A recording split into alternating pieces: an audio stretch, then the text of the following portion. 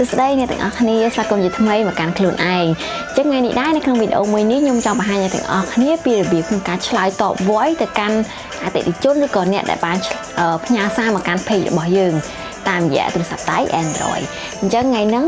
ខ្ញុំធ្វើការបង្ហាញពីរបៀប voice តាមរយៈទូរស័ព្ទដៃជាទូទៅការ voice នៅលើ page វាពិបាកបន្តិចសម្រាប់អ្នកប្រើ Android ជាពិសេសពេលដែលគេផ្ញើសារមកចូល page របស់យើងអ្នកប្រើកម្មវិធី page ឬក៏អ្នកប្រើ face កម្មវិធី Facebook ហ្មងគឺវាពិបាកអញ្ចឹងថ្ងៃហ្នឹងខ្ញុំនឹងបង្ហាញអ្នកទាំងអស់គ្នាពីរបៀប voice តាម Android ហ្នឹងហើយតាមកម្មវិធីផ្សេងមួយទៀតគឺ Creator Studio អញ្ចឹងកម្មវិធី Creator Studio ជាកម្មវិធីមួយដែលខ្ញុំចូលចិត្តដោយសារតែភាគច្រើនពេលដែលខ្ញុំប្រើប្រាស់ Facebook នៅលើកុំព្យូទ័រគឺខ្ញុំប្រើប្រាស់តែ Creator Studio ទេនៅពេលណាដែលខ្ញុំ post content post video post អីមួយគឺខ្ញុំប្រើតែ Creator Studio ឯងហើយកម្មវិធីហ្នឹងគឺអាចប្រើប្រាស់បានទាំងនៅលើ Android iOS ហើយនៅលើកុំព្យូទ័រតែខ្ញុំភាគច្រើនភាគច្រើនខ្ញុំប្រើលើកុំព្យូទ័រហើយអញ្ចឹងសម្រាប់អ្នកដែលគាត់អត់អាច voice តាម Android បានក៏អាចជាដំណោះស្រាយមួយដែរដោយសារតាកម្មវិធី Creator Studio គឺកម្មវិធីរបស់ Facebook អញ្ចឹងគឺយើងអាចធ្វើការ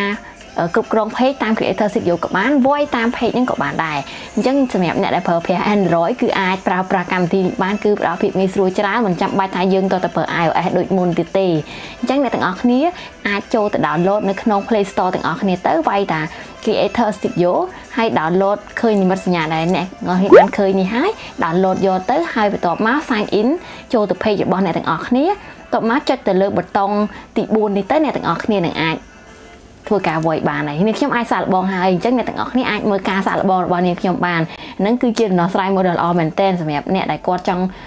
អ្នកគាត់ដែលប្រើ Android ទេហើយគាត់អត់មាន iOS ប្រើហើយគាត់ចង់វាយតាម page ត្រឡប់ទៅវិញអញ្ចឹងឥឡូវនេះនាងខ្ញុំសូមធ្វើការ review កម្មវិធី Creator Studio បន្តិចចាឥឡូវយើងចូលទៅកាន់កម្មវិធី Creator Studio របស់យើងទៅពេលដែលចូលមកដល់ភ្លាមយើងនឹងតម្រូវឲ្យ sign in ពេលដែលយើង sign in ហើយយើងនឹងឃើញ ប៊ូតុងទាំង5ខាងក្រោមនេះដែលប៊ូតុងទី1ជាប៊ូតុង Home សម្រាប់មើល performance នៃ page របស់យើងចំណែកឯទី2គឺជាប៊ូតុង Post ប៊ូតុង Post មានន័យថាគឺជាកន្លែងដែលយើងអាចមើលឃើញរាល់ការបង្ហោះ content របស់យើងទាំងអស់ដូចជារូបភាពវីដេអូ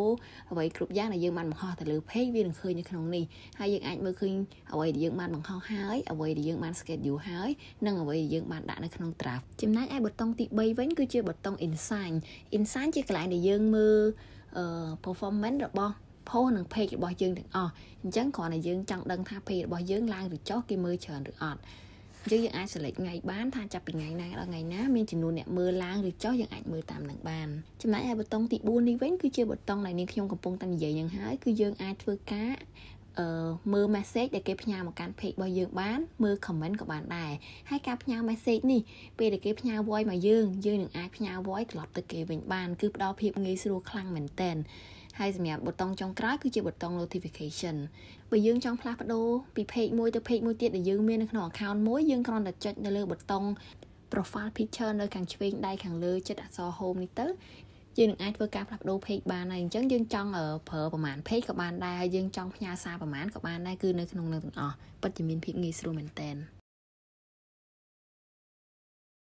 ចឹងចាប់តាំងពីក្រុមហ៊ុន Facebook គាត់ធ្វើការបង្កើតកម្មវិធី Creator Studio សម្រាប់ប្រើប្រាស់លើទូរស័ព្ទដៃនេះមកគឺវាមានភាពងាយស្រួលសម្រាប់អ្នកប្រើទូរស័ព្ទដៃ Android ពីមុនគេតែងតែសួរខ្ញុំថាធ្វើមិន voice តាម Android បានខ្ញុំតែងតែប្រាប់គេវិញថាតើតា iOS បានអាចធ្វើបានប៉ុន្តែ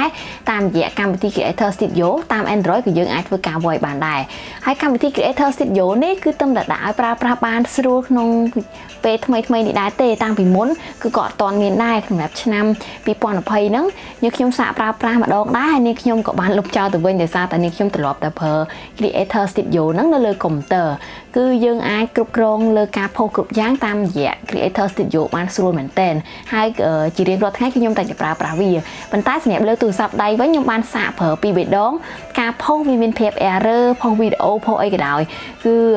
ខ្ញុំអត់ដឹងថាវីដេអូខ្ញុំបានផុសចូលនៅទេប៉ុន្តែតាមរយៈកំណែ update ក្រោយនេះ Creator Studio គឺមានការ update ជាងមុនគឺវាអត់មានការ error ដូចលើកមុនទៀតទេហើយការគ្រប់គ្រងលើការផុស content អីរបស់យើងក៏វាមានភាពងាយស្រួលច្រើនដែរអ ចឹងអ្នកទាំងអស់គ្នាអាចចុចនៅ